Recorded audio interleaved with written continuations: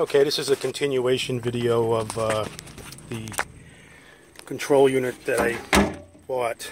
Uh, I just got picked it up, I put it in, and it, the car does all the things that weren't working are, are working now.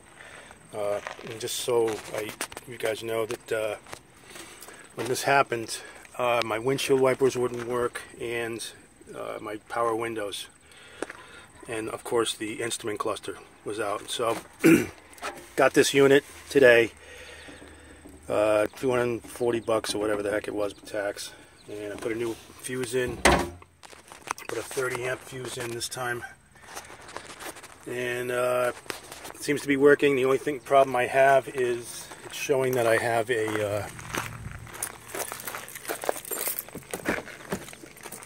4x4 actuator problem is, is occurring, and which I wasn't happening before. So I'll start the car.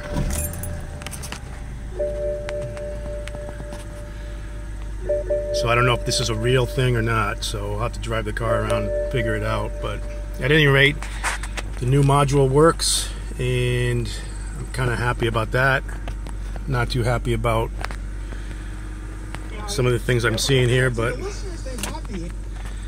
uh, other than that, uh, that's the end of this little saga until something else breaks. All right, thanks. Bye bye.